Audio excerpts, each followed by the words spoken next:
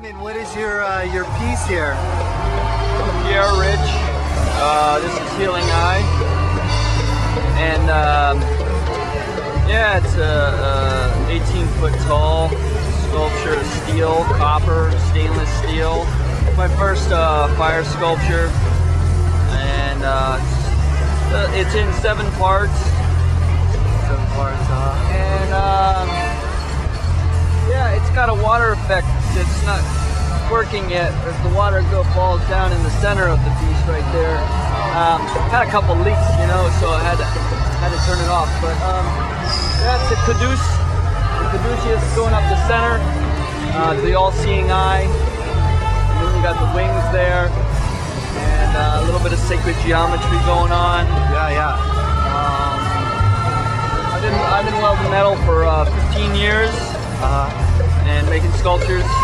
Oh, wow. I do um, figurative sculptures, I make uh, furniture, I make um, environments, Oh, okay. and this is this is really sort of a, a branch off uh, more of the sacred geometry and the fire element. Right, right, right. Uh, it's sort of a work in progress too.